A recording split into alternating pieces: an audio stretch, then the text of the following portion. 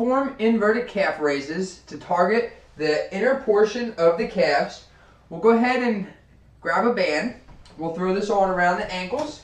And then we're going to go on to either a step or you could use yoga blocks. And we're going to go up, up onto it just with the forefoot.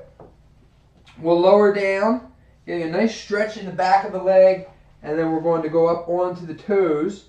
And then we're going to try to keep driving out into the band, pushing the heels apart here, all the way through this whole action. And this is going to get us a nice sensation right on the inside of the calves here. Big exhale as we go to the top, inhale to the bottom.